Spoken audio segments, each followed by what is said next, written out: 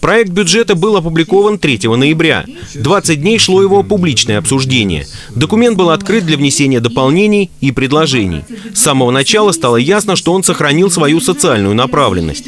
Основным докладчиком выступала начальник финансово-казначейского управления Раиса Анашкина. Однако еще перед началом ее доклада глава района озвучил интересный документ. Постановление э, губернатора Московской области об утверждении результатов мониторинга и оценки качества управления муниципальными финансами за 2014 год.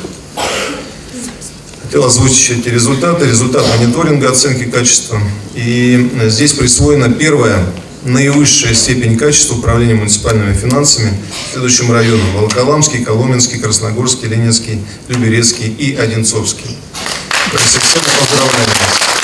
Большую часть средств района в 2016 году и плановом периоде 2017-2018 годов предполагается направить на вопросы образования, культуры, спорта, ЖКХ и дорожного строительства.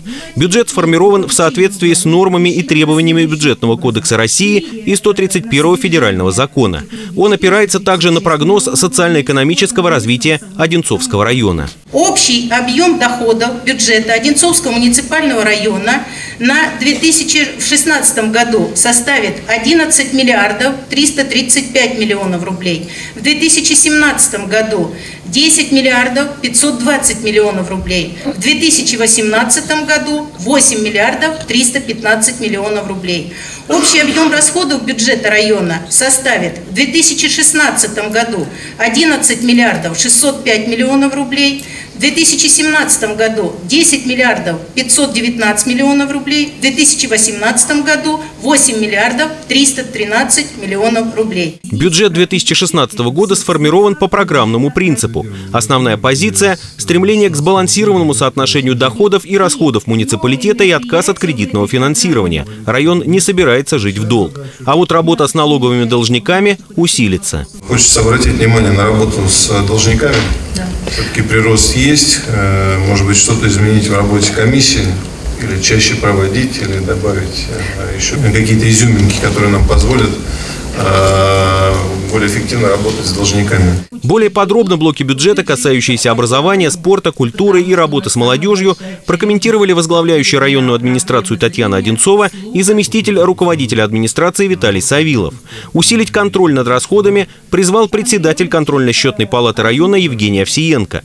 Своеобразным итогом обсуждения стало выступление председателя комиссии по бюджету и налогам районного совета депутатов Нины Гинтовой. Более 73% очень существенная цифра расходов районного бюджета на 2016 год составляет объемы, объемы финансирования социальных отраслей. Считаю, что приоритетными должны оставаться следующее направление, то, что мы имеем сегодня для района.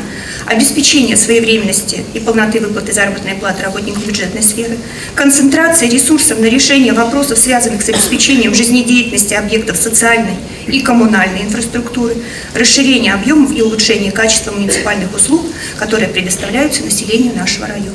Предлагаю одобрить проект бюджета Одинцовского муниципального района на 2016 год и плановый период 17-18 годов с учетом предложений и доработок и передать его в Совет депутатов Одинцовского муниципального района для утверждения. Главным в бюджетной политике района в 2016 году станут дополнительные усилия по исполнению доходной части бюджета, а также жесткий контроль за его расходной частью.